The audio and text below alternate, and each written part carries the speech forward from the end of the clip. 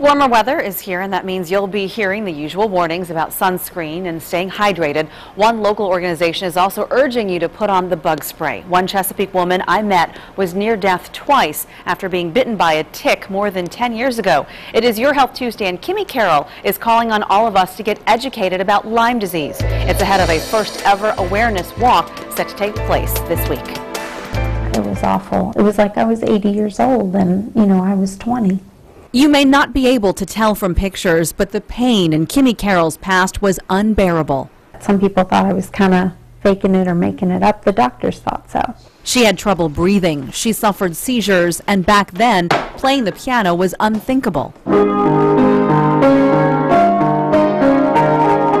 I'm so much more appreciative, you know, of the things that I can do, and it's just like I can't tell you just the joy it brings. You know, I never thought ever I'd be able to play again. Today, Carroll is on the road to recovery, but it has been a tough path.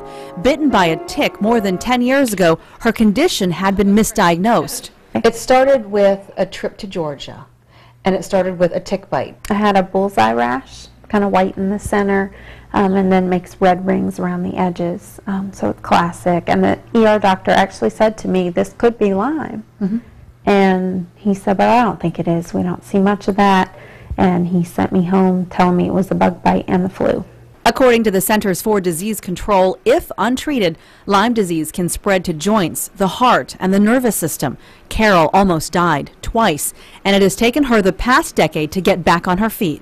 I was on death's door, and here I stand, you know, almost well, on my way to remission.